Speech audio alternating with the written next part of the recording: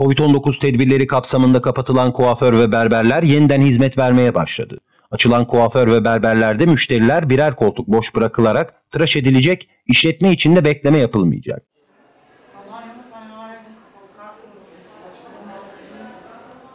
Bu kapsamda alınan önlemleri Alanya Posta TV'ye aktaran kadın kuaförü Nihat Akbulut, randevulu sistemle çalışmalarımızı sürdürüyoruz diye konuştu.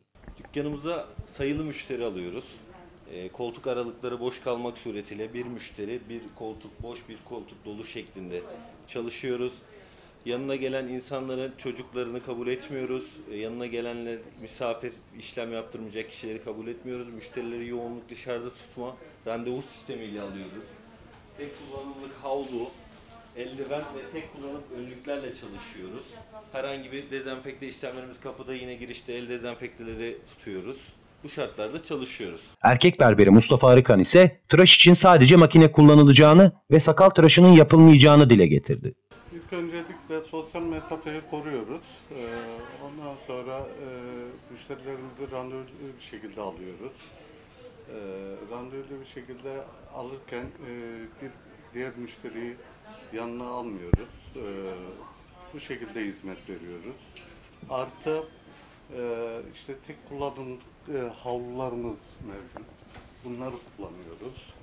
Ee, ve tek kullanımlık e, ön, önlüklerimiz mevcut. Bu şekil. Şu şekil. Ee, önlüklerimizi kullanarak müşterilerimize hizmet veriyoruz. Ee,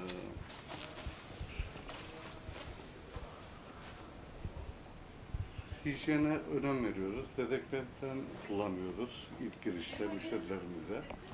Ee, bu şekilde e, müşterilerimize e,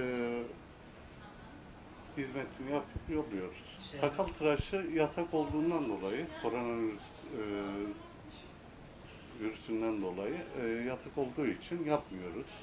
Sadece ve sadece makine tıraşları, makas tıraşları, her e, tıraştan sonra makine ve makasları dezenfektanla şey yapıyoruz, temizliyoruz ve artık tren makinesine şey yapıyoruz.